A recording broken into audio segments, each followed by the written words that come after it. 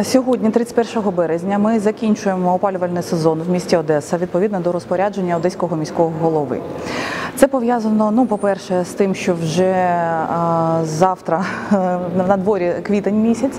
По-друге, що обсяги газу для проходження опалювального сезону Нафтогаз підприємствам ТКЄ цьогоріч надав тільки до 1 квітня цього року. Тому опалювальний сезон закінчується майже по всій Україні одночасно. Дехто там можливо раніше, але більшість е, закінчує його сьогодні. Ну звісно, цей цей процес поступовий, також е, як і включення котелень.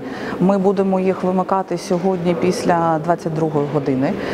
А, ну, цей процес також буде пов- сповільнений з урахуванням того, що а, а, тиск газу в системі повин, повинен поступово зменшуватись для того, щоб а, не, спричинити аварійної ситуації. Саме з завтрашнього дня стартує вже підготовка до нового опалювального сезону.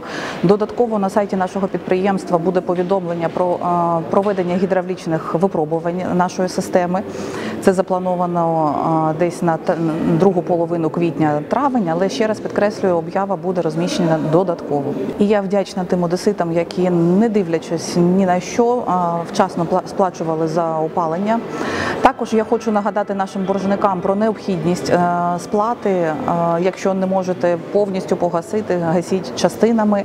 Також звертайтесь до наших відділів. Ми зможемо укласти з вами договір реструктуризації. Це убереже вас від е, іскових е, наших як.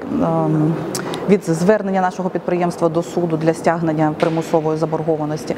Тому все це ми робимо. Звертайтесь і якось спільними зусиллями ми знайдемо вихід з цієї ситуації.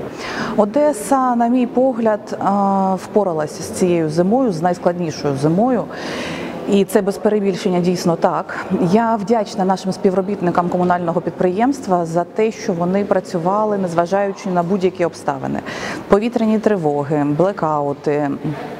І ще й безліч, безліч перепон, які, які були на нашому шляху. Тому дійсно велика шана, повага співробітникам. Також хочу подякувати нашим колегам енергетикам, які. А, Також як ми тримали той енергетичний фронт для того, щоб в домах одеситів було тепло.